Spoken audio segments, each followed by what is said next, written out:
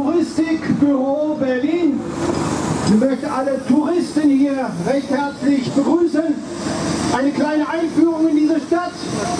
Wir haben hier zwei Highways to Hell im Bau in Berlin. Den BER, den Flughafen, der nicht fertig wird, aber Milliarden Gelder verschlingt.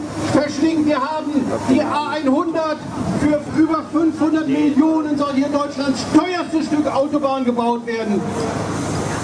Ich begrüße Sie als Touristen hier in Berlin auf den Highways to Hell.